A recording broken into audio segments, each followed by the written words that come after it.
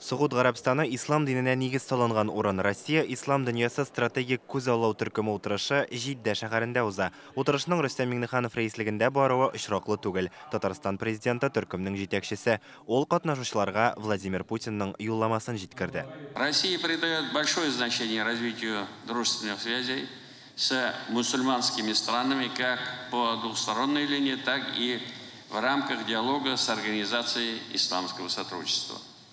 Важно, что наши позиции по многим актуальным вопросам региональной и глобальной повестки дня весьма близки.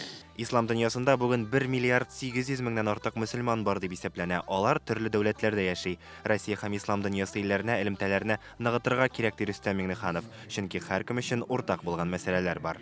Нам следует совместно повысить эффективность борьбы с терроризмом, взаимодействие по ряду других направлений, таких как защита традиционных нравственных ценностей, забота о социально незащищенных членах общества и национальных меньшинствах, борьба с природными и техногенными катастрофами, экология. Бу юнәлештә үрнәк итеп президент Татарстанны китерә. Күп милләтле һәм төрле дин тарафдарлары яшәгән җәмгыять төзүдә республика тәҗрибәсе турында сөйли.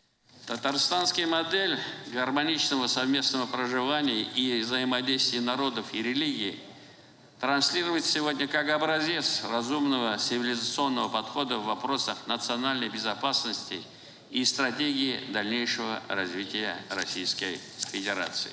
Моннан тыш Рөстәм Миңнеханов Казанны мөселман дөньясында беренче басма Коръән шәһәре дип игълан итү тәкъдиме белән чыкты.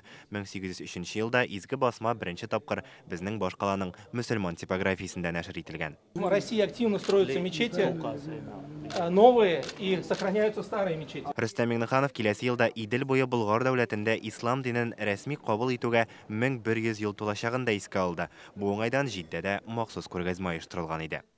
Сугуд Гарабстаныннан Илгиз Шәкуров, Яңа Гасыр каналы.